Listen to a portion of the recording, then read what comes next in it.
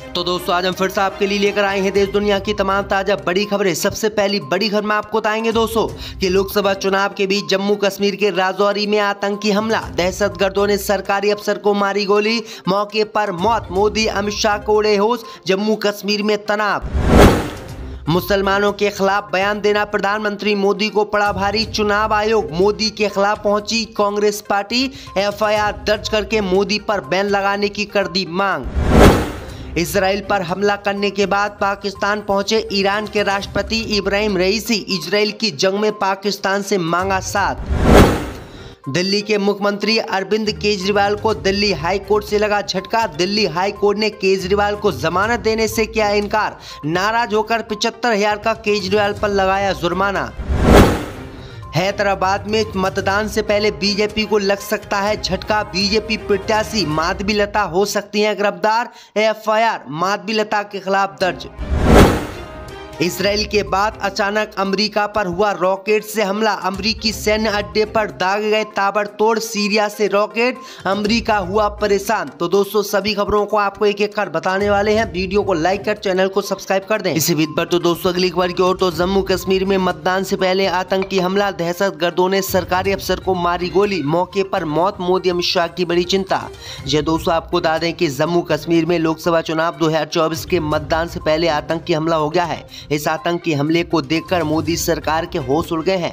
जानकारी के मुताबिक आतंकियों ने एक शख्स को गोली मार दी है। घटना को अंजाम देकर दहशतगर्द मौके से फरार हो गए हैं। पीड़ित को पुलिस ने इलाज के लिए अस्पताल में भर्ती कराया, जहाँ डॉक्टरों ने उसे मृत घोषित कर दिया। जानकारी मिलते ही मौके पर सुरक्षा की टीम पहुँच गई है और आतंकियों को पकड़ने के लिए पूरे इलाके की घेराबंदी कर दी है। बताया जा रहा है कि आतंकियों को मृतकों नज़दीक से गोली मारी थी। मृतक की पहचान मोहम्मद रज्जाक के तौर पर हुई है। पुलिस ने बताया है कि मृतक समाज कल्याण विभाग में जूनियर असिस्टेंट के पद पर तैनात था और राजौरी में तैनात था। तो ये बड़ी अपडेट आ रही दोस्तों। इससे भी बढ़ते दोस्तों अगली खबर की ओर तो सुप्रीम कोर्ट ने अरविंद केजरीवाल को जमानत देने से किया इनकार। पचहत्तर हज़ार रूपए का लगाया जुर्माना। जो दोस्तों, आपको दादे की दिल्ली के मुख्यमंत्री अरविंद केजरीवाल की मुश्किलें कम होने का नाम नहीं ले रही हैं। दिल्ली शराब घोटाले के मामले में तिहाड़ जेल में बंद। सीएम अरविंद केजरीवाल को अब दिल्ली हाईकोर्ट से झटका लगा है। दिल्ली हाई कोर्ट ने 22 अप्रैल को सीएम अरविंद केजरीवाल की जमानत देने की अर्जी को खारिज कर दिया है। इतना ही नहीं, हाई कोर्ट ने अरविंद केजरीवाल पर नाराज़गी जताते हुए उन पर पचहत्तर हज़ार रुपए का जुर्माना भी लगाया है।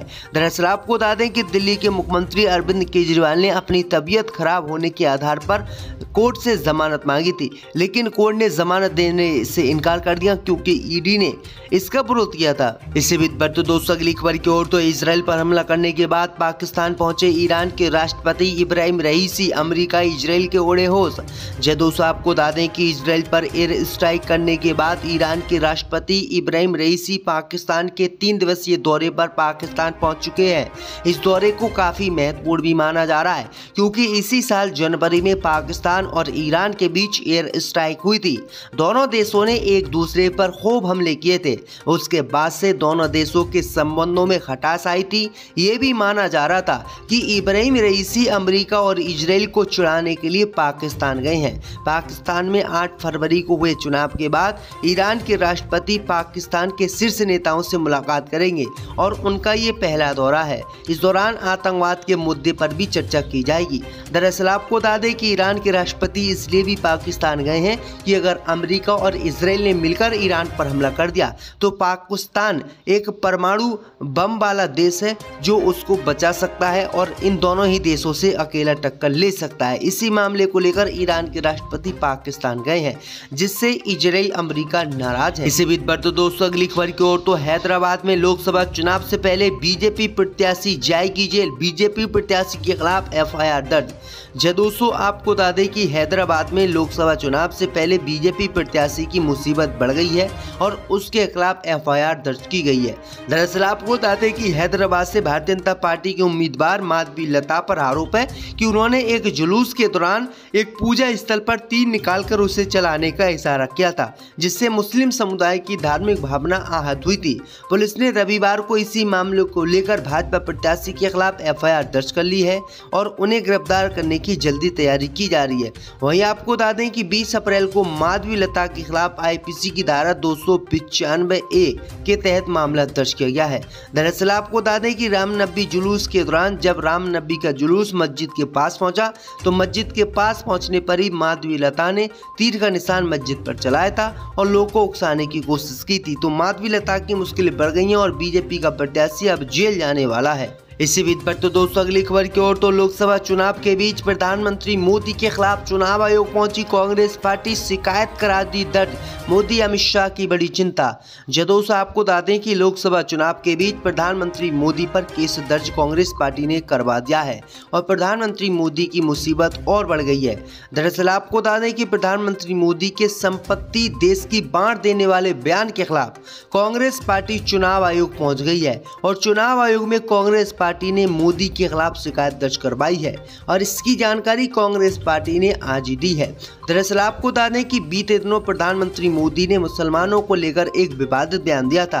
अपने बयान में प्रधानमंत्री मोदी ने कहा था कि पंडित नेहरू ने कहा था कि देश की संपत्ति और संसाधनों पर पहला हक मुसलमानों का है और ये ज़्यादा बच्चे पैदा करने वाले लोग को ही इस देश की संपत्ति कांग्रेस वाले बांटेंगे।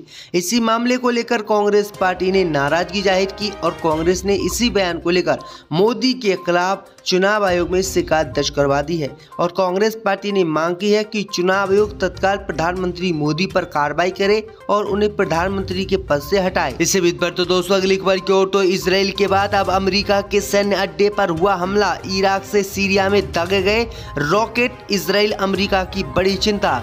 जो दोस्तों, आपको बता दें कि ईरान के द्वारा इसराइल पर हमला करने के बाद अचानक ही अमेरिका पर हमला हो गया। है। दरअसल आपको बता दें कि अमेरिका पर सीरिया, इराक से सीरिया में रॉकेट दाए गए हैं। दरअसल आपको बता दें कि एक दिन पहले ही अमेरिका के राष्ट्रपति वाइडन ने इराकी प्रधानमंत्री से मुलाकात की थी और ऐसे में इराक से सीरिया में अमरीकी सैन्य अड्डे पर रॉकेट दागे गए हैं। यह हमला ऐसे समय में हुआ है जब आपको बता दें कि मिडिल ईस्ट में उठापटक मची हुई है। क्योंकि इसराइल ईरान पर हमला कर रहा है तो ईरान इसराइल पर हमला कर रहा है। वहीं आपको बता दें कि सीरिया की सीमा से सटे इराक के शहर जुम्मार में एक छोटे से ट्रक पर एक रॉकेट लॉन्चर तैनात किया गया और उसी से अमरीकी सैन्य अड्डे को निशाना बनाकर पाँच रॉकेट डाए गए हैं। इस दौरान जिस ट्रक पर रॉकेट लॉन्चर रखा हुआ था, उसमें विस्फोट हो गया। कहा जा रहा है कि ट्रक को निशाना बनाकर एयर स्ट्राइक की गई थी, जिसमें अमरीकी युद्ध विमान के शामिल होने का अंदेशा जताया जा रहा है। इसी बीच पर तो दोस्तों, अगली खबर की ओर तो अब जेल जाएगी राखी सावंत सुप्रीम कोर्ट ने दिया झटका चार हफ्तों में सरेंडर करने का आदेश। जदोस आपको बता दें कि बॉलीवुड अभिनेत्री राखी सावंत अब जेल जाने वाली हैं। कभी भी वो गिरफ़्तार हो सकती हैं। दरअसल आपको बता दें कि सुप्रीम कोर्ट ने अभिनेत्री राखी सावंत को झटका दिया है और उनकी अग्रिम जमानत की मांग वाली याचिका को खारिज कर दिया है।